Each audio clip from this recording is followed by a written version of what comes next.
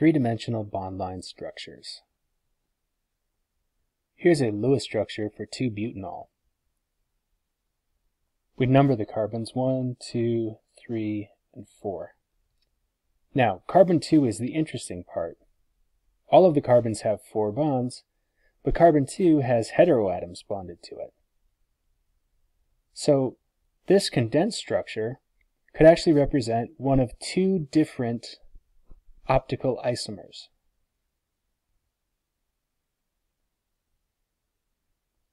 So remember that the steric number here equals 4. And even though we draw these four different groups as pointing to the corners of a square, in three dimensions they actually point to the corners of a tetrahedron.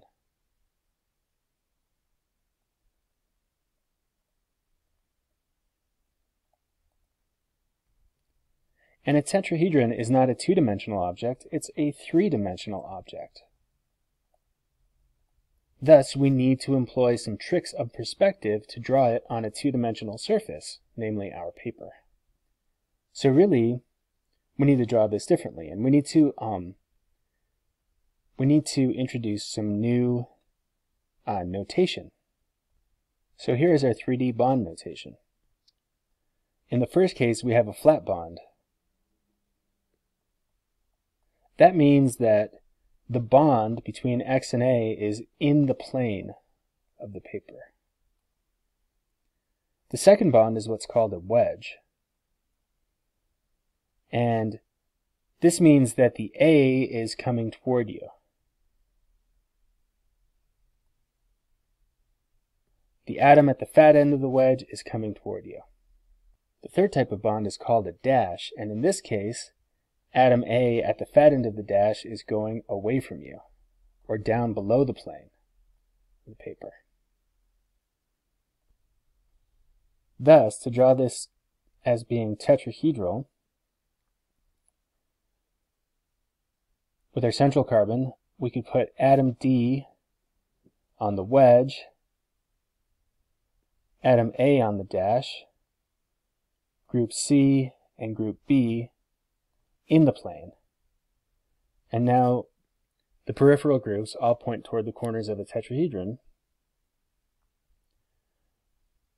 But this could also mean switching the wedge and the dash. And we don't know which is which from the Lewis structure.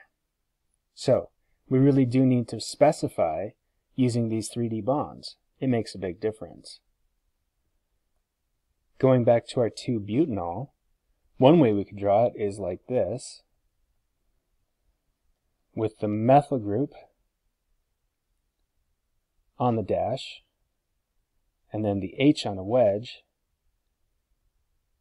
have the hydroxyl in the apical position, and then the ethyl group going down and to the right.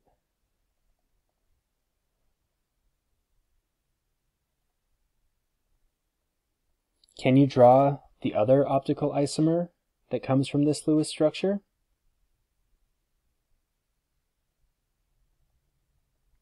Pause and draw it.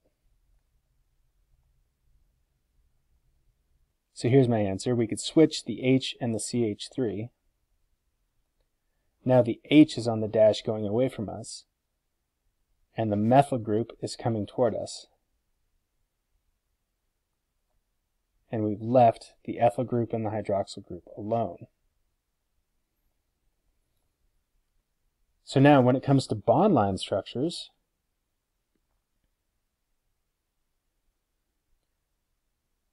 the bond line structure of 2-butanol looks like this.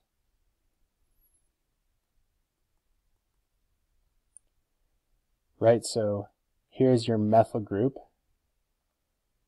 here's your ethyl group,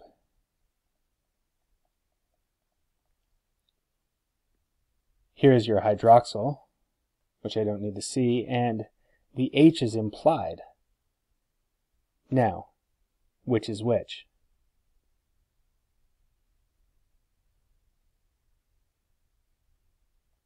In other words, we could draw our bond line structure with the hydroxyl group on a wedge, or we could draw our bond line structure with the hydroxyl group on a dash.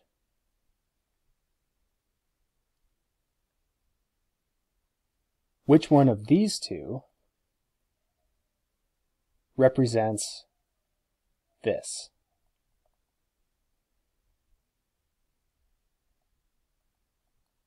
Pause and circle 1.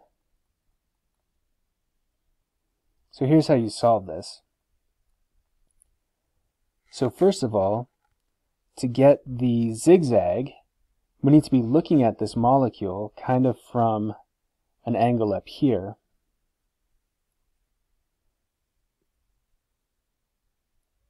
So that we have our CH3 group and then our CH2 CH3 all in the same plane, which means rotating the molecule uh, 90 degrees to the left and then rotating it downward. And then you can see the hydroxyl group will be closer to our eye, so the hydroxyl group is on a wedge.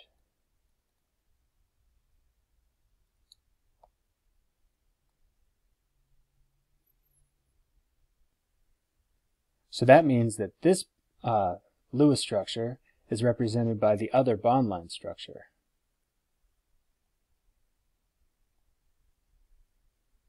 Namely, we're going to look at this molecule, kind of imagine putting your eye down here, and now you'll see that the hydrogen is on the wedge when you make your backbone. The hydrogen is coming toward you, and so the hydroxyl group is going away from you. So that's a very important skill, and you guys should practice the heck out of it.